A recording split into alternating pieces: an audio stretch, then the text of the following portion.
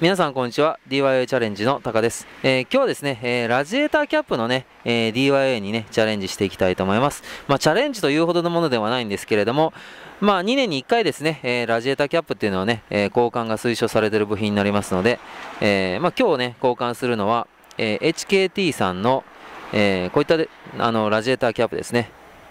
はい。まあまあかっこいいですよね。で、こちらをですね、えー、定期交換ちょっとしていきたいなと思います。じゃあですね、えー、アングル変わります。はい。えー、今からですね、あの、作業をしていくわけですけれども、え箱の中に入っている部品は箱と、このキャップと、それからシールですね。はい。じゃあですね、えー、こちら外していきたいと思います。まあ、注意事項としてはですね、もう皆さんご存知だと思いますけれども、えー、熱い状態、まあ、エンジンかけてて、えー、直後とかだと、あの非常に危険ですので、えー、こちらの、ね、蓋のところにもですね、え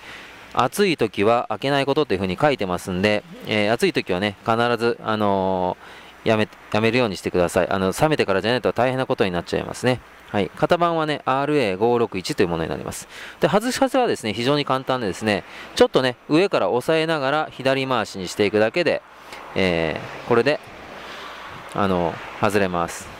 でですね、あの、見た目ですね、こういったあのキャップって何も変えなくてもいいような感じなんですけど、だんだん古くなってくるとですね、この動きがですね、ガタが出てきて、今これガタがないんですけど、あの予防交換って形で変えます。まあ、これがね、あの悪さしてオーバーヒートとかですね、あのいうこともありますので、まあ安価な部品ですのでですね、予防交換しておくと、えー、いいと思います。じゃあですね、えー、早速交換していきたいと思います。これはですね、普通にですね、同じようにですね、上から、えー、締めて、こういう形ですね。はい。これであの、やるだけですね。で、あとはですね、こちらのシールをあの剥がして、えー、今日の日付をこうやって貼っておしまいって形ですね。以上ですね、簡単ではありますけれども、えー、こちらのね、ラジエーターキャップを、えー、交換してみましたっていう DIY になります。皆さんもですね、本当に簡単な DIY になりますので、あの、まだ車のこと何もわかんないんだけど、ちょっとなんか簡単なことやってみたいなーっていう方にはね、ちょっとおすすめの DIY です。でもね、あの結構大事な部品になりますのでね、皆さんはチャレンジしてみてはいかがでしょうか。